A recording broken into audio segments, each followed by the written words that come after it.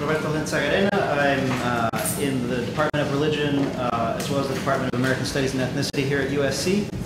Uh, and today I'll be moderating this panel, uh, which will be focusing on um, uh, and making use of the category of lived religion in its analysis of uh, televised representations of religion. Lived religion is an approach to the study of religion that's concerned with the intersection of belief and practice in daily life, uh, as opposed to the study of formal, uh, formal religious strictures uh, and rites. This distinction is not an attempt to uh, reinscribe categories of high and low forms of religion, but rather is an attempt to get a better picture of how religion practices function and are linked to specific social contexts. Further, the religion, uh, pardon me, the lived religion approach contests the idea that religion is always um, functional and coherent. It assumes that the study of the ambivalent, hybrid, and often contradictory nature of religion um, uh, and its mundane forms provides a unique and perhaps more accurate vantage point on the complex uh, religious lives of practitioners. In sum, uh, scholars of lived religion assume that theology is not simply a matter for theologians, but that theology itself is constituted and reconstituted uh, by practices in churches, shrines, living rooms, streets, uh, and even on the sets of television programs, uh, as uh, talking about today. Uh, so I'd like to very quickly introduce our panelists, and then um, as each of them goes, I'll give you their, their paper titles we have uh, Vincent Brook uh, from the Annenberg School of Communication here at USC. Marcia Dawkins, uh, who is also at Annenberg. Um, and uh, Leonard uh, Primiano from Cabrini College in Religious Studies. Uh, and Tom Beaudoin, who is at Fordham University. Um, and with that, I turn the microphone over to Vincent Brook, who will be um, giving us his paper, Mixed Blessing, generational effects of interfaith uh, marriage in Everwood and the OC.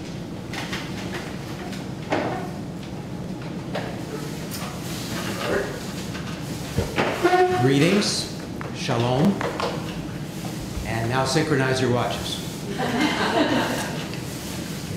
Controversy surrounding interfaith marriage, biblical endorsements notwithstanding, is, a, is as old as Methuselah. For Jews since the diaspora, however, the practice has carried special urgency, never more so than in the United States in the postmodern era.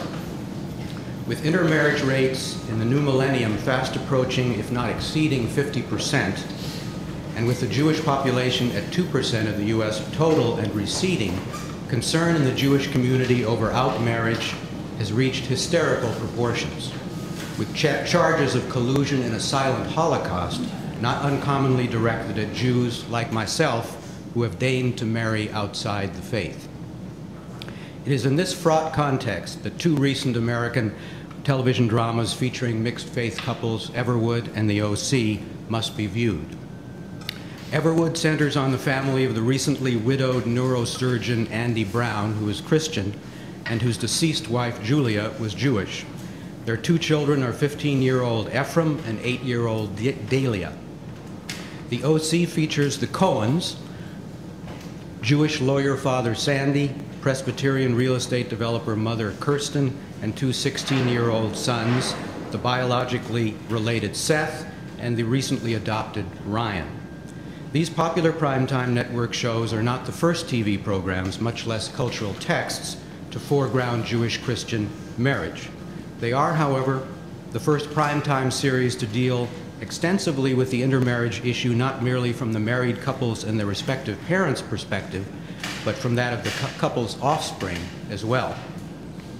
The significance of this generational shift goes beyond the correspondence to actual trends in the larger society. For what happens to the children of mixed marriages, whether they extend their parents' religious line, attenuate it, or bring it to an abrupt end, is the crux of the intermarriage issue.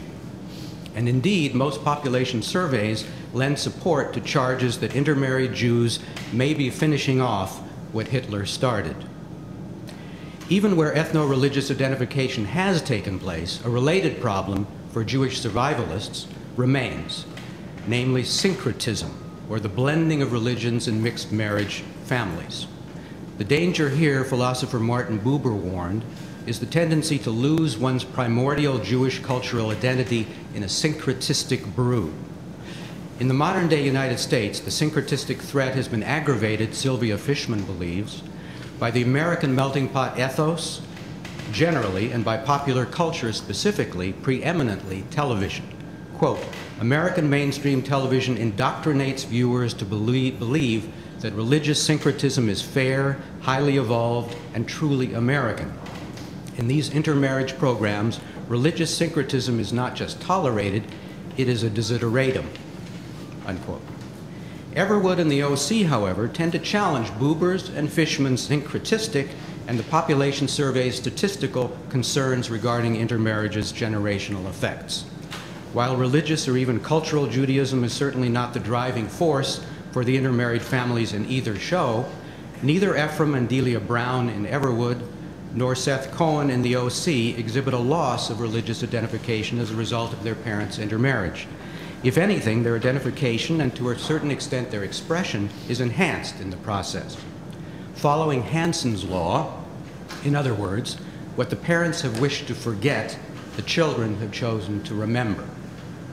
The key to assessing the two shows' intermarriage counter narrative, I will argue, lies in Robert Orsi's notion of lived religion, which in this august assemblage needs no further explanation. An important catalyst for the alchemical reaction of lived religion and intermarriage in Everwood and the OC are the two shows' eponymous settings. Everwood, Colorado, a Norman Rockwellian village in the Rocky Mountains, is fictional, and Orange County is, of course, an actual place, but both serve mythic purposes. Given that Everwood's main attraction for the Brown family lies in their beloved mother's memory, her own of the place she adored, and her family of her, her families of her, her Jewish spirit hovers over the decidedly Gentile town, whose idyllic rural setting, Sarah Palin, are you listening? harbors its share of red state parochialism and skeleton laden closets. The OC's mythic reinvention of place is more overtly ambivalent. For Newport Beach's outward paradise of blue waters, bronzed bodies, and gilded opulence is not only contrasted with a noirish underbelly of corruption, hypocrisy, and deceit, but the postcard picture itself is held up to scorn. Seth captures the cognitive dissonance of his, uh, in his comic book rendering of the town as one in which, quote, demon water polo players emerge from the toxic Pacific and attack Atomic County, unquote. Both the Browns and the Cohens, then, are gefilte fish out of water. Their geo and demographical otherness grounded in, or at least heightened by, their interfaith status. The two families bring to their new abodes an alien consciousness and an uncommon moral code. Everyday Everwoodians, for example, are intrigued by their Jew York City interlopers and stunned by Dr. Brown's free clinic, although they readily line up for its services. The OC's Sandy and Seth, meanwhile, maintain an uneasy truce with waspish Newport Beach society, expressing disgust at the shallowness and cupidity of their unchosen digs while never rejecting its materialistic comforts. Evaluated on the basis of official religion, Everwood and the OC would have to be given unsatisfactory marks. Attendance at houses of worship is an anomaly in both shows, and professions of faith, with the exception of prepubescent Delia's, are non existent. Moral, ethical, and spiritual concerns viewed in relation to lived religion, however, tell a different story. Andy Brown's quest for personal and familial redemption in the melding of Julia's bountiful Jewish spirit with Everwood's majestic beauty and small town Christian values puts transcendence into practice. The transformation is manifested not in church or synagogue going, but in Andy's free clinic, in his selfless dedication to his patients, and in acts of social conscience. In other words, in his devotion to what Neil Gillman calls civil religion.